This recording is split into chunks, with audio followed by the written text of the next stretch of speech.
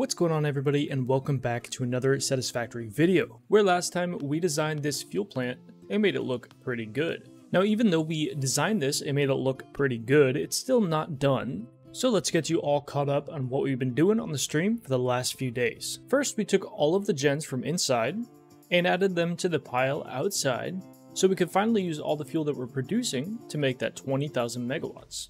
The next thing we've done is added this little border around the top of the building to kind of tie in the roof all together. Also at the same time, we've started adding a foundation to the building, allowing it to actually look a bit more realistic. In addition, we filled this little void that we had here with some power storage buildings. They're connected on a separate grid, powering one machine at 1%, allowing them to make their discharge animation, and I think it looks pretty cool. After that, we finally fixed our resin output. Now we are outputting plastic and rubber, which we can export later on down the line.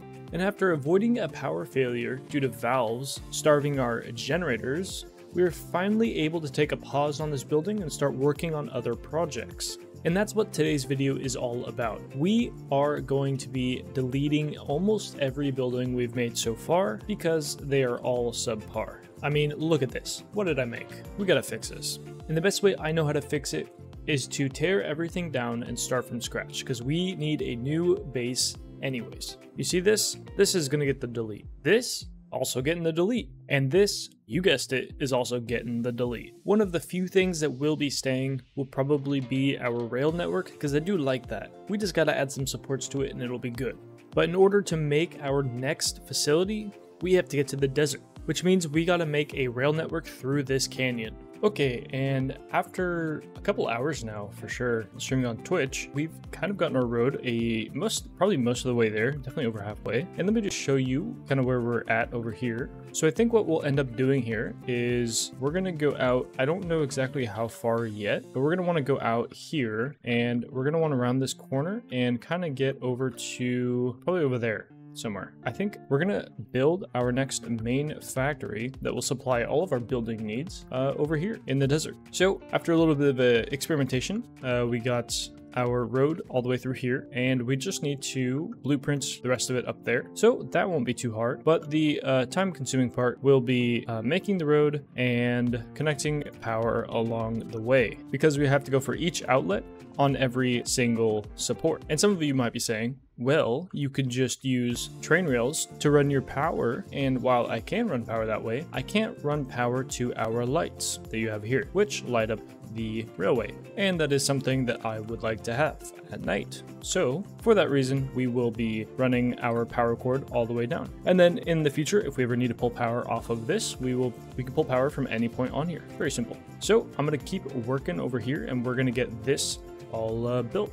Okay, and we are back over here by our starter factory where I have made this fun little device right here and we kind of get sent to the next dimension. But you guys are probably going to recognize this as our train rail system. Oh boy, we're going too fast. We are going too fast. Uh, okay, we got it. I must get it back. Lisa, hurry, faster. Why don't you run faster? And we are back. As you can see, right over here. It's actually not super far away. This is our road and train rail system brought all the way up to here. It's not uh, connected, but it is in the area and we can pull power from it. As you can see, I have done. And now we have a Hypertube launcher, uh, so we can quickly get from uh, the one side of the map to the other. This will get me right about to our starter factory, and then I have a smaller one that will get send me from the starter factory to the fuel plant. So those are the only cannons that I have made, uh, and I finally made them after a while, but we can take this back whenever we need. The idea is that we build over here for our new, you would say starter factory, but it's really just a material factory for us to be able to supply ourselves with all the materials we need to build in this world world. Yeah, because it's kind of like crazy. So let's go look at the other project we got going on. Okay, and we are over here in the northern forest. I just grabbed the sulfur that was here and the coal and we are ready to unlock i think uh let me i think i need to grab some materials. Nope we got them we are ready to unlock black powder. Now this will allow us to get the nobelisks which uh, i've been having a big problem with foliage clipping through our roads and the best way to deal with that in satisfactory is uh, to blow it to kingdom come. So that is what we're going to be doing. But we just have to unlock a few milestones first. So it's about time that we get our black powder cooking up. Now i just got to wait for about 50 of this to uh, build up. Okay and we got our 50 black powder. We're going to unlock this, and then we can make our Nobelisk and our detonator. We can also unlock the extra hand slot, which we will be doing. I just need an extra 100 for that. So we delete all that, and just like that, we have doubled our black powder output, but we do need some steel pipes. So let me go grab some of those real quick. After adding a bunch of steel pipes and a little storage, we now have some Nobelisks. And that means we're finally ready to, I'd say, throw a couple and just a couple. I think that should be plenty. Nice. Unfortunately, they don't blow up the presents, but these will still work great for clearing our roads.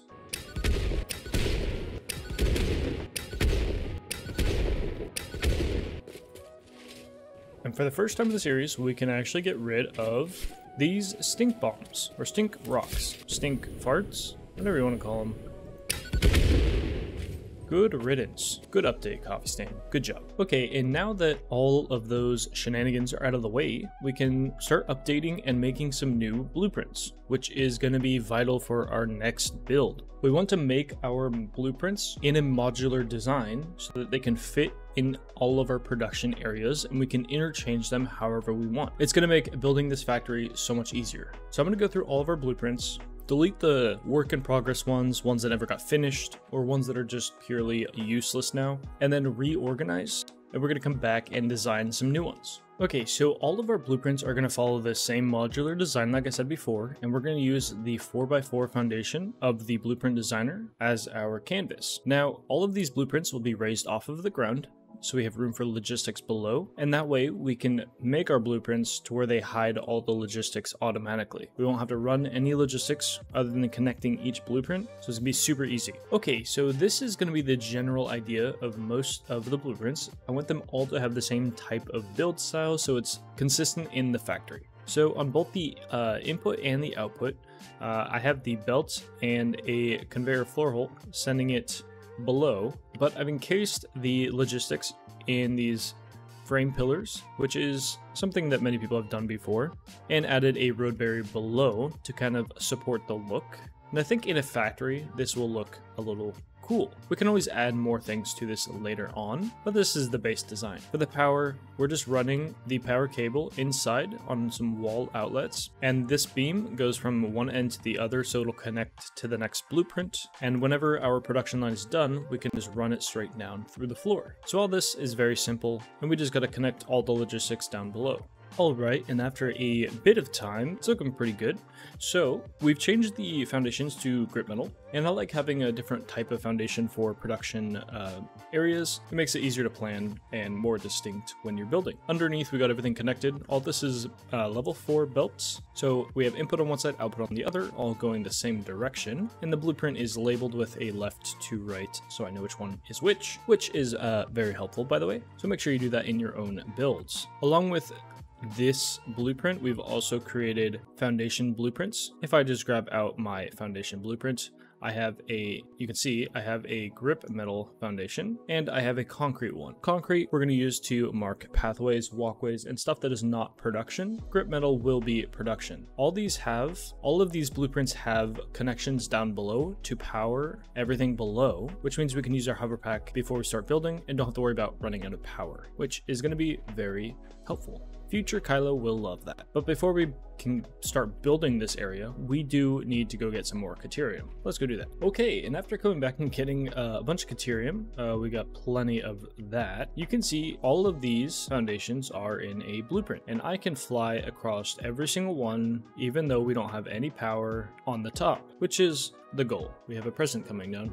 and then also we have big production lines here. Now I don't know how long this is going to be, but we have the ability to just delete a blueprint like so and continue a production and continue a production line right here. So it is very modular and this will pair very well with our construction blueprint, which I will show you in just one second. We've also added blueprints for assemblers, foundries, and smelters. They all follow the exact same uh, they all follow the basic design of the construction blueprints, but they have just a bit more. For our production lines, all we are going to have to do is create a subfloor for our logistics.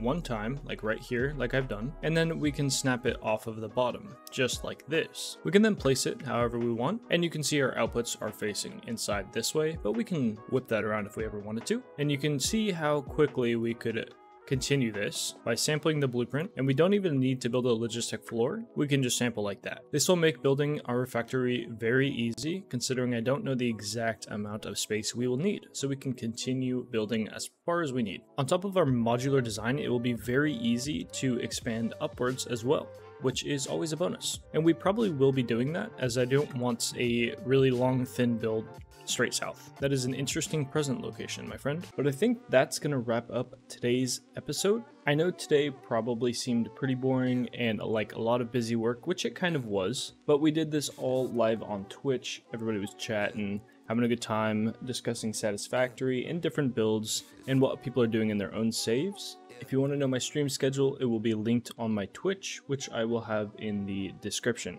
Next episode, we will be starting on our quote unquote mega factory, which again is more of just a general goods production. I'm very excited to start using the modular blueprints we're creating today. And the only other blueprint we're missing right now is a support for our rail system, which still is floating like a weird piece of garbage. But if you guys do want to see more builds like the fuel plant in the last episode, make sure to subscribe, like, comment, all that good stuff. And we'll see you in the next one. Peace. Yeah. I'm slick with words, tongue sharp, you left in thirds. You pitching verbs, I knock it out, I'm flipping birds. While smoking herbs, I'm blocking out what often hurts. I'm moving herds, it's me, my family, money merge. We crave the day that we.